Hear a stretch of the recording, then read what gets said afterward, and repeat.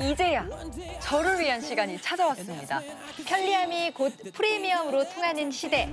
그래서 준비한 곰손도 금손으로 만드는 마법템 10. 세상이 참 좋아졌네요. 언니 믿어보라 그랬잖아.